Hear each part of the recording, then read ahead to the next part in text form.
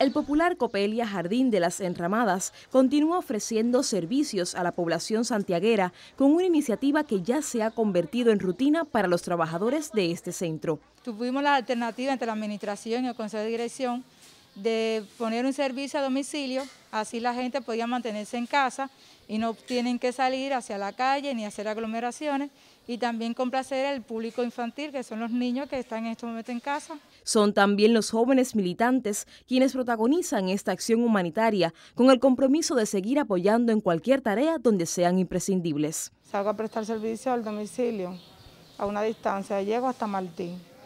Ya todas las personas que lo necesiten, todo para que no salgan de la casa, las personas mayores, las madres con niños, todos agradecen, Siempre nos dicen que nos están esperando temprano en la mañana. Personas mayores que no pueden salir de su casa y damos el paso al frente y, hacemos un esfuerzo y vamos más allá del límite.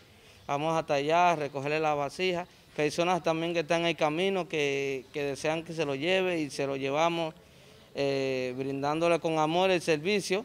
Vecinos son dichosos por esta iniciativa, tanto para las personas mayores al necesitar una atención mucho más dedicada como para empresas cercanas.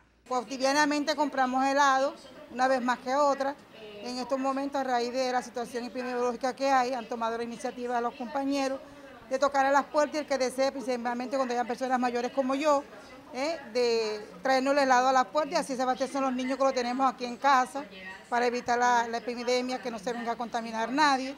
Y entonces se lo agradecemos. Muy satisfecho con el trabajo y en estos momentos que esto es un encierro para la familia, nosotros en el trabajo ya nos sirven acá y a la comunidad y nos sentimos satisfechos con el servicio. Quienes hoy desean apremiar la estancia en casa con buen helado, apuestan por el servicio a domicilio que facilita Jardín de las Enramadas, una forma más de enfrentar a la COVID-19, cumpliendo las medidas y orientaciones de quienes se preocupan por el bienestar de nuestras familias. En Santiago de Cuba, Nora Ladies Becerril Caballero, Sistema Informativo de la Televisión Cubana.